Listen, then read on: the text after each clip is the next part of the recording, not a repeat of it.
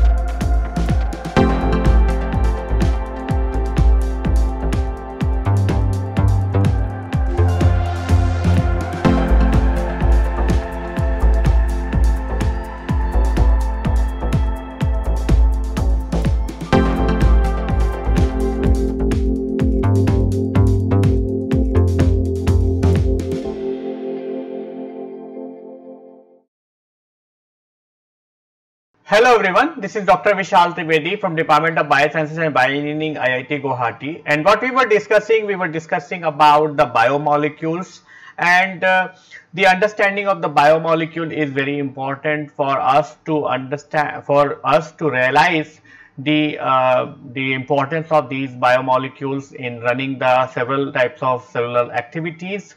So, so far what we have discussed, we have discussed about the uh, nucleic acids. So, in that we have discussed about the DNA and RNA and these two molecules are important for the information to be stored in from the one generation to another generation. And that's how they are actually going to relay the information from the one generation to the next generations. And subsequent to that we were also discussing about the carbohydrates and carbohydrates are mainly being required for energy production and as well as in some cases they are also being part of the um, building blocks where they are actually modifying the some of the crucial cellular factors and other things. So uh, in if you recall in our previous lecture we discussed about the different types of carbohydrates. We discussed about the monosaccharides disaccharides and polysaccharides. In addition we have also discussed about the different types of uh, structural as well as the biochemical details of uh, these different types of uh, carbohydrates. And uh, the carbohydrates are present in the linear chain or to the cyclized form uh, and they are also showing the different types of isomeric properties.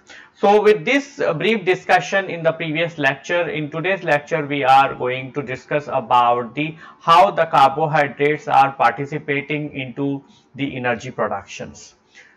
So, so, what we have discussed so far, we have discussed about the uh, the different steps of the metabolic reactions, what is happening into the glycolysis, what is the energy production within the glycolysis and under the different uh, environmental conditions, how the energy production is going to be modulated. And in addition to that, we have also discussed about the regulation of the glycolysis by the different means. Either it will be by the entry of the glucose into the cell by the mean of the uh, insulin hormone or by the covalent as well as the allosteric regulations of the different enzyme what is present into the glycolysis.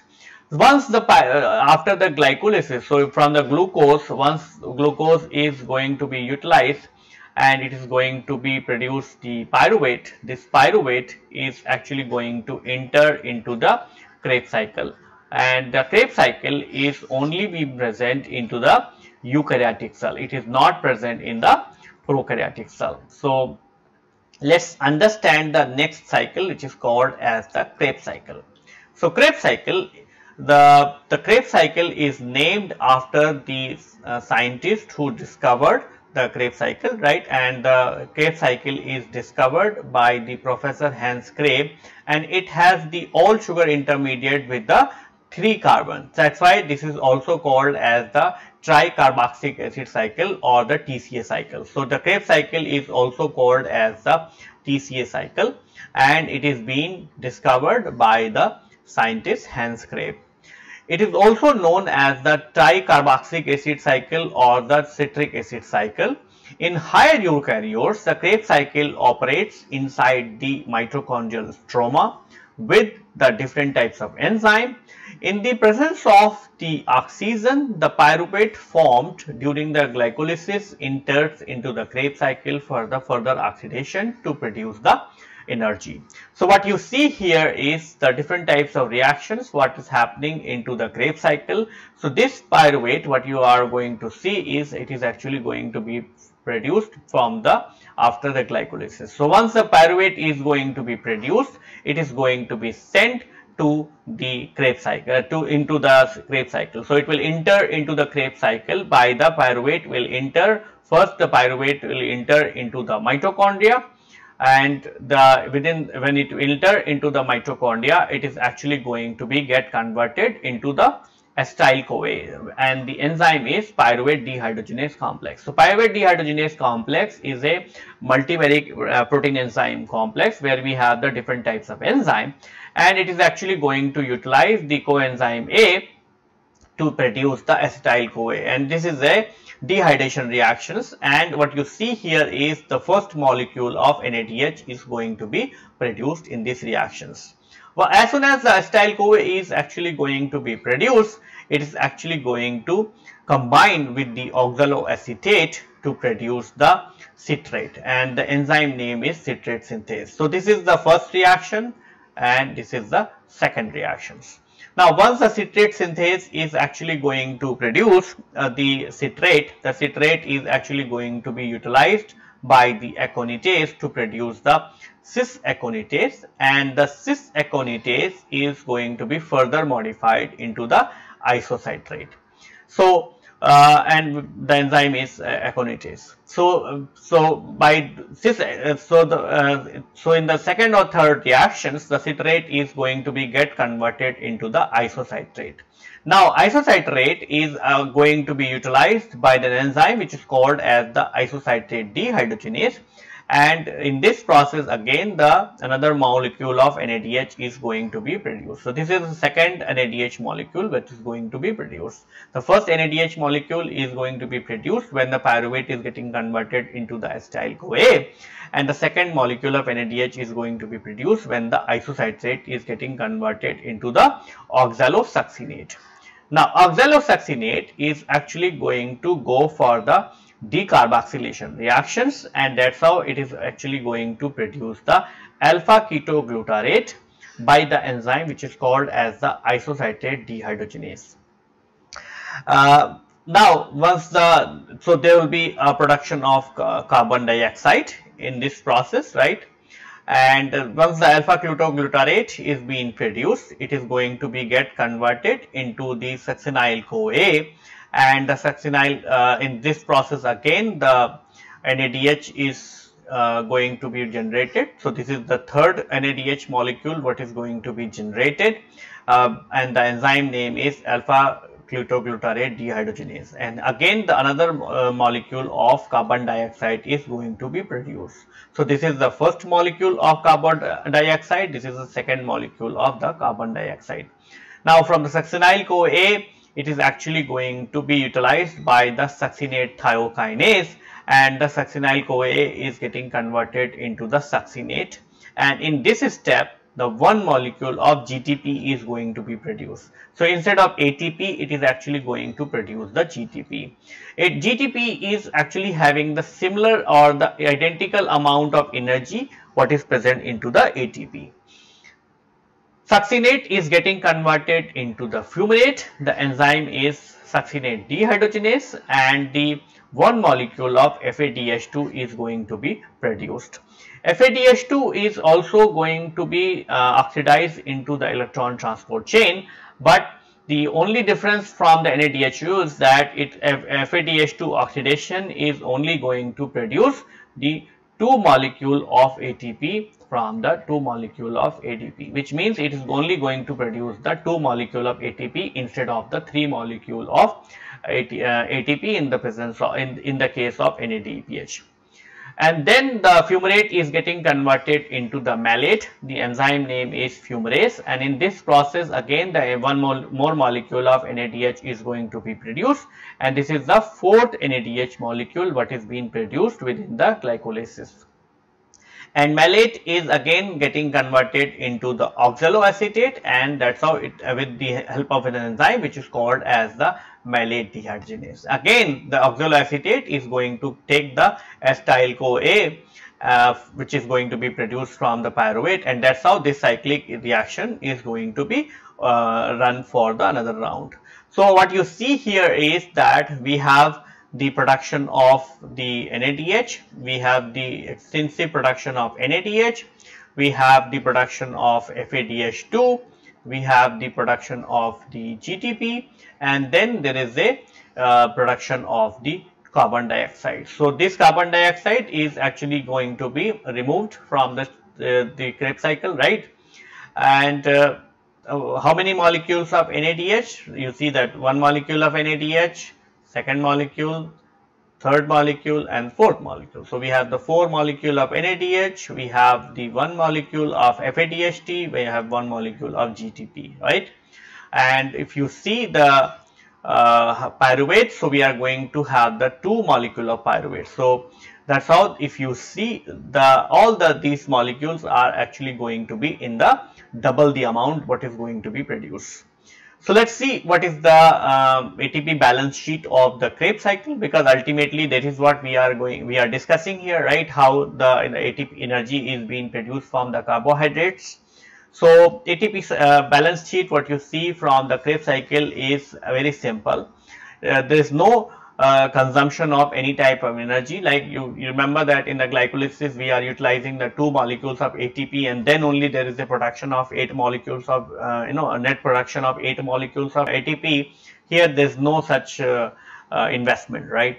So what you see is the steps of Krebs cycle. So when there is a first step when there will be a production of acetyl CoA it is actually going to give you the one molecule of NADH, right? And remember that if the NADH is going to be utilized into the electron transport chain, it is actually going to give you the 3 ATP molecule and that's why we have put the 3 into 1 molecule, right? So 3 ATP molecule is going to be produced in the production of acetyl CoA. Then in the step 3, there will be a generation of alpha ketoglutarate and in that step also there will be a production of NADH and that also is going to give you the 3 molecule of ATP.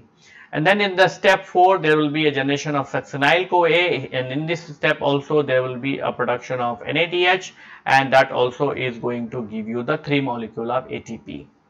Then the step 5 there will be a generation of GTP and as I said GTP is actually going to have the same amount of energy what it is being found for the ATP and that's how the one molecule of ATP is being formed. Then in the step 6 there will be a generation of fumarate and the there will be a generation of FADH2. So that is also going to give you the 2 molecule of ATP because FADH2 when it goes for the electron transport chain it is going to give you the 2 molecule of ATP. Then in the step 8 there will be a generation of oxaloacetate and that also is actually going to give you the another molecule of NADH and that's how it is actually going to produce the 3 molecule of ATP. Now what is the net balance for oxidation of the 1 molecule of pyruvate? So there will be a net production of 3, 3, 3, 1, 2, 3 and that is the 15 ATP molecule. But since the glycolysis is producing the 2 molecule of pyruvate, it is actually going to be the total production. So, total production is going to be the 30 molecule of ATP molecule which will be generated. So, which means if you start with the 1 glucose molecule and if you eh, consider that the there is a enormous amount of oxygen present then it is actually going to give you the 8 ATP molecule into the glycolysis and it is actually going to give you the 30 ATP molecule into the Krebs cycle. This means it is actually going to give you the 38 ATP molecule, the net 38 ATP molecule under the oxygen in the presence of oxygen. But if there is a no oxygen present, then it is actually going to give you the, so what will be the energy production? if there is no oxygen present, then it is actually going to give you the 2 ATP molecule into the glycolysis, right? And it is going to see here, right? If there is no uh, oxygen present, then this is not going to work. This is not going to work. This is not going to work because there will be no electron transport chain which is going to be operational this is not going to work also and this is not going to work. So, in this case it is actually going to produce only the one ATP molecule which means it is actually going to give you the 2 ATP molecule from the glycolysis as well. So, that is why if there is a no in a uh, O2 present then it is actually only going to give you the 4 ATP molecule. In fact, if the ATP is if the oxygen is not present then actually that is going to make the Krebs cycle non-operational because there is no going to be there will be no oxygen. So there will be no running of Krebs cycle. And because of that it's only going to utilize the uh, glycolysis. So there will be only 2 ATP what is going to be produced if there is a no oxygen present. That's why the amount of oxygen uh, is actually going to decide how these uh, cellular uh, how the cells are actually going to modulate their uh, metabolism. So, if there is be no oxygen present then the, the pyruvate is what is being produced from the glucose molecule will not enter into the Krebs cycle right.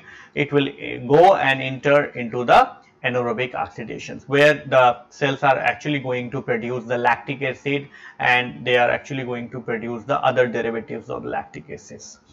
Uh, but apart from that the Krebs cycle is extensively been involved into the energy production if the oxygen is present and apart from that the Krebs cycle is also being present in channelizing the different types of intermediates. So let's see the significance or the, uh, uh, the let's see the how we can be able to regulate the activities of the Krebs cycle so that it is not going to uh, you know it's so that it, all the reactions are under the proper control. So there are four rate limiting steps in the Krebs cycle and the point where it can be regulated. Okay.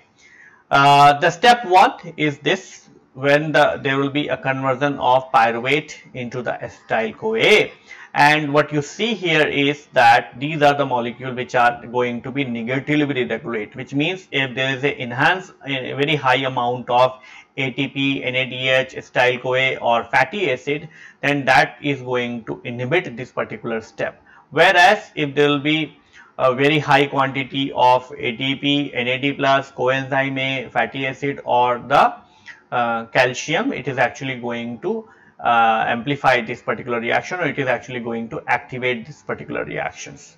So the first reaction is the conversion of pyruvate into the acetyl CoA is the first step which allows the entry of sugar moiety into the Krebs cycle. Pyruvate dehydrogenase complex is allosterically inhibited by the high ratio of the ADP to JDP or NADH to NAD plus and the acetyl CoA to acetyl CoA. See this is because of this only right because to require a very high uh, uh, high uh, ratio of the this it is actually going to give you the inhibition of this which means there is a in very high quantity of energy what is already been present in the cell. So, if the energy is already present in the cell why there is a need to run the Krebs cycle. So, because of these molecules like ATP is a energy molecule NADH is also a energy molecule it is actually going to inhibit the Krebs cycle. Then the second step is the first reaction of the Krebs cycle which is catalyzed by the citrate synthase and it is inhibited by the high level of NADH, ATP and succinyl CoA. So this is also the first step. This is the step also again which is going to be synthesized by the citrate synthase and that is also been re very regulated or the inhibited by the high level of these uh, NADH, ATP and succinyl CoA. Then the third step is the isocitrate dehydrogenase which is inhibited by the high level of ATP NADH whereas calcium and ADP stimulate this process. So this is the third step where the it is actually going to be again modified or can be modulated. Then the fourth step is the alpha ketoglutarate which is inhibited by the succinyl CoA and the level, high level of NADL plus whereas the calcium stimulates this process. Now, the Krebs cycle, the Krebs cycle is not only for produ producing the energy, okay. Krebs cycle is one of the central metabolic pathway which are actually being responsible for, see, see eh, the Krebs cycle is uh, connected to the acetyl CoA and acetyl CoA is also connected to the fatty acids and all other kinds of pathway. So, the intermediate what you see in the Krebs cycle are very much uh, present in the many pathways what are present in the cell and that is why the Krebs cycle is not only for the production of energy, it is also being utilized for the many other functions. So, let us see what are these uh, uh, functions and what is the uh, significance of the Krebs cycle within the uh, metabolism. So, Krebs cycle is the master regulator of the metabolism. So, Krebs cycle is a centrally connected to the metabolic intermediates of the carbohydrate, proteins and lipid metabolism. It has several branching point where it can communicate with the other protein or the lipid metabolism. So, what you see here is that the protein the Krebs cycle and it is actually been shown that how what are the different intermediates which are actually being participating into the different types of other metabolic pathways. So, what you see here is that the pyruvate it is being converted into the acetyl CoA and then the acetyl CoA when, when it enters into the TCA cycle it is actually producing the citrate. So, citrate is actually being connected to the fatty acid and the sterol pathway. So, that is how it can actually be able to communicate. So, there will be a shuttling of the intermediates from the Krebs cycle to these pathways and exactly the same way the, the pathway, the intermediates could actually be shuttled back to the uh, uh into the citrate cycle also. Then once the citrate is getting converted into the alpha ketoglutarate, alpha ketoglutarate can directly be converted into the glutamate and the glutamate which is the amino acid actually is can be shuttled back uh, and there are metabolic pathways so that the glutamate can be converted into the arginine, proline and glutamine which means at this stage it actually can easily be able to communicate with the protein synthesis machinery. So, you see the catabolic pathway is interacting with the uh, anabolic pathways. And then we have the succinyl CoA. The succinyl CoA is a precursor of the porphyrin and the heme as well as the chlorophyll synthesis. So, that is why it actually can shuttle the intermediates between the biosynthetic pathway of the heme biosynthesis. And once the succinyl CoA is getting converted into the uh, malate, the malate is also getting shuttled between the with the pyruvate and uh, the enzyme is the pyruvate carboxylase and as well as the malic enzyme.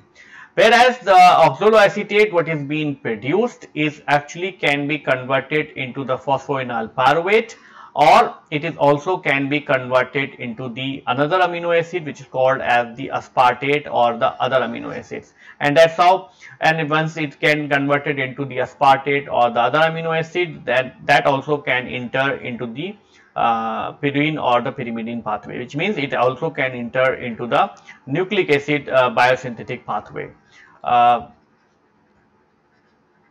nucleic acid biosynthetic uh, pathways. So, what you see here is that the Krebs cycle is uh, is, is, a, is a catabolic pathway, but it is actually uh, participating with the different types of metabolic pathways whether it is the fatty acid biosynthetic pathway, protein synthesis pathway, heme pathway or nucleic acid biosynthetic pathway or the it is also can uh, shuttle back to the phosphoenol pyruvate and phosphoenol pyruvate is a precursor for the glycine, serine and cysteine pathway. So, that is why the uh, and if there is a requirement the, uh, the Krebs cycle can also be able to produce the glucose which can be stored in the form of the glycogen in the uh, in the muscle cells. So, so what you see here is that the Krebs cycle has the very very huge uh, role in terms of the uh, regulating the different types of metabolic pathways and the intermediates actually can go into the different types of metabolic pathways. Like the lipid metabolism is connected to the Krebs cycle through the common intermediates such as the citrate and the acetyl CoA. Similarly, the protein metabolism shares the intermediate as the alpha ketoglutarate oxaloacetate. As a result, the Krebs cycle can allosterically or the through the product inhibition regulates other metabolic pathways. In addition, it can redistribute the intermediates between the metabolic pathway and helps in the conversion of sugar to the protein lipid or the vice versa. And because of the such a very high level of uh, role in the metabolic pathways, the Krebs cycle is uh, been taking place very high in terms of the evolutions. So what is the role of the Krebs cycle in the evolution is that the Krebs cycle is directly associated with the running of electron transport chain and hence depending on the availability of the oxygen. Development of the Krebs cycle has evolved the organism to adopt the high oxygen environment which means earlier the people the like for example the prokaryotic cell they don't have the Krebs cycle. Be why they don't have the Krebs cycle? Because they are living in an environment where the oxygen availability is very low. So that's why they are only they are happy with the glycolysis pathway and they are only producing the very low amount of energy by the uh, glucose molecules. But with the with the development of the Krebs cycle and with the adaptation of the Krebs uh, the the mitochondria into the eukaryotic system, the the Krebs cycle has um, uh, has made the it is made it possible for the organism to adopt to the high energy environment because in the high energy environment the Krebs cycle can be operated and it can actually be able to help the organism to produce the high energy high amount of energy. So with this, uh, we would like to conclude our lecture here. In our subsequent lecture, we are going to discuss more about the biomolecules. What we have discussed so far, we have discussed about the carbohydrate structure and functions and we have also discussed how the carbohydrates are being utilized into the different types of metabolic pathways to produce the energy. And uh, we have discussed about the glycolysis. We have discussed about the regulation of the glycolysis. And subsequent to that we have also discussed about the Krebs cycle and its regulations. And lastly we have also discussed about the significance of the Krebs cycle into the different types of metabolic pathways. So with this i would like to conclude my lecture here. In our subsequent lecture we are going to discuss about the some more bio biomolecules. Thank you.